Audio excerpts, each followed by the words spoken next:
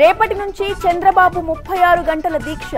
దాడులపై శనివారం ఢిల్లీలో అమిత్ షాకు ఫిర్యాదు.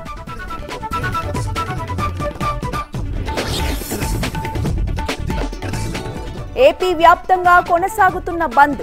వైసీపీ విధ్వంసంపై టీడీపీ నేతల నిరసనలు.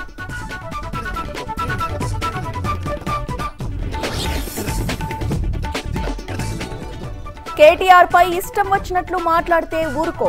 బీజేపీ నేతలకు జీవన్ రెడ్డి వార్నింగ్.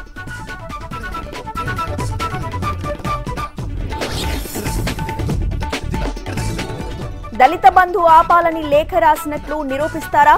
టీఆర్ఎస్ నేతలపై బండి సంజయ్ విసుర్లు.